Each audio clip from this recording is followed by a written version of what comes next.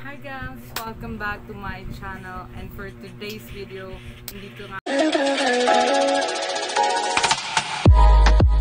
ako ngayon sa aming stores, the Coffee for You and pag-uusapan natin yung mga gamot, yung mga basic na mga gamot, gamot, gamot na ginagamit ng ating mga fur babies. Kasi di ba, break na muna tayo sa pan, ano, falls, beaches, and all the painit, no? Nang ngayong, alam ko namang summer, pero yes, may time tayo mag-stay dito sa store. So, I will discuss to you today kung ano yung mga gamot, basic na mga gamot na ginagamit natin para sa ating mga fur babies. Usually lang naman na mga common na ah, nararamdaman nila sa ating ganito summer or mga rainy season is yung yun nga yung ubo, sipon, saka yung fever. So yes guys, yung yung pwede natin gamitin sa ubo ay ako oh, ako ng Broncure. Yun po yung zero po siya.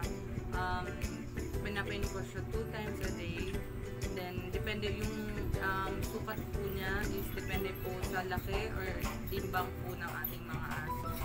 Or kung ano, meron din isang choice po yung pampered pooch, Dr. Pooch po siya. That's for common colds, pwedeng fever, yung lagnat, basta yung mga common colds po, yun din, two times a day po natin every time po na may mga sakit sila, parang tao din po na um, kailangan nating um, mas um, bigyan sila ng vitamins. Like, i-double dose po natin yung vitamins nila. Kung meron po kayong LCVIT, ano to? Ayan, LCVIT or yung multivitamins po yung LCVIT saka yung Canis. Diba? Kasi pag mga lagnat-lagnat, even tayong mga tao, diba? Pag nagkakaroon tayo ng lagnat or pag hindi maganda yung pakiramdam natin, nagdo-double dose lang tayo ng ng ating ano, vitamin C. Kung yung regular mong iniinom is 2 times a day, nag-take ka ng 1. Pag meron kang sipon or ubo, pwede mo pong ano, 2 tablets or 2 ano, yung i-double dose mo na kung yung regular mo is 3 ml or 2 ml per day, gawin mo na lang kung 4 to 6 ml. Kung wala namang kaso na ma-overdose siya sa vitamins naman, tsaka hindi mo namang bibiglain sa pagpapainom, kundi ibuboost mo lang po yung immune system ng ating mga aso. So, um, ah, ito rin pala, yung ano po yung isa pa sa mga ano, ginagamit ng ating mga aso pa, meron mga for sa pagsusuka, na nagtatae, ganun, Mondex powder po.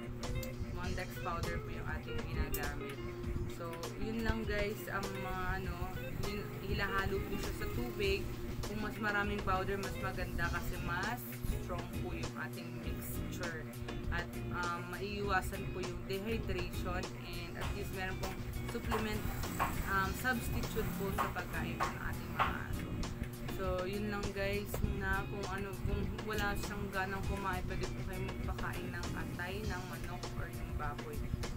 sa tingin niyo naman po may allergy po sila sa manok, kung ano po pakainin, you can use atay po ng baka or atay po ng baboy.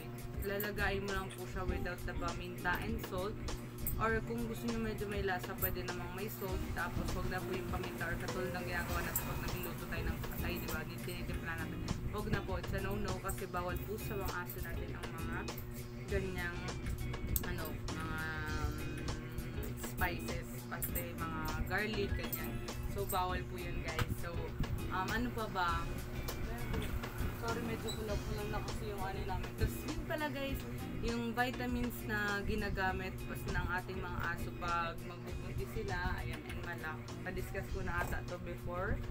Ayan, nung nag-deworm tayo ng puppy, di ba? Yung last upload ko, kung siguro sa mga hindi pa nakakapag-watch kung paano mag-deworm ng puppy, meron po um, upload na sa videos ko lang po, pwede niyo po siyang i-watch at paano po siya um, um, pinainom at ano po yung pinaka-ideal na time na para po mag-deworm sa ating mga fur.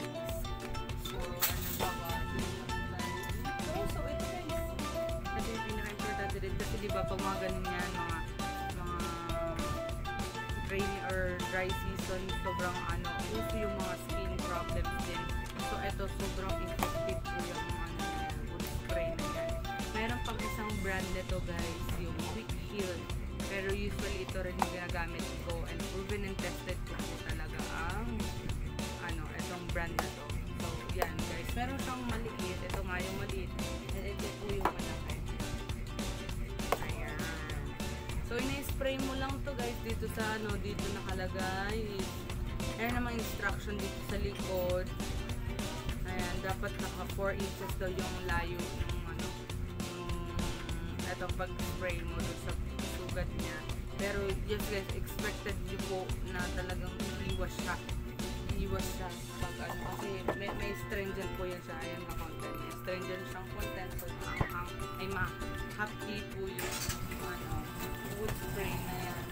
So, ito guys, proven and tested ko rin po pang pawala ng puto, yung mga kati-kati, tsaka an insect repellent din po siya, mosquito repellent ganyan. Ito, takes away, mura lang siya guys. Kaya mabango pa, kaya hindi siya, ano, hindi naman din siya poisonous, okay lang siya kung ma, ano, ma, in case lang ma, anuhan, ma, ma, di- ano yan, ma, tawag yan, ma, wala na, hindi na ako hindi na alam. Yung parang syempre, wag naman yung to the point na iinom niya na talaga kasi yung talaga yung, yung nga, pag sobra talagang makakalaso. So, po yung mga ano. So, ito guys, gandang ano pala to. Ito, itong puppy trainer na to. Ito yung madalas na ginagamit ng mga mga bagong fur parents para ma-potty train yung mga puppies nila. Kasi ito guys, ginagamit itong spray ka